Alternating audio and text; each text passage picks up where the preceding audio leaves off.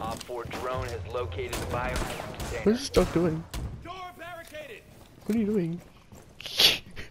Bro, look at this. We're stuck in here now. Look. Like, oh no, why'd you do that? I don't like this. Nah, I'm taking bro. this one down. Don't kill me. Oh! Fuck! look what you did. You got us both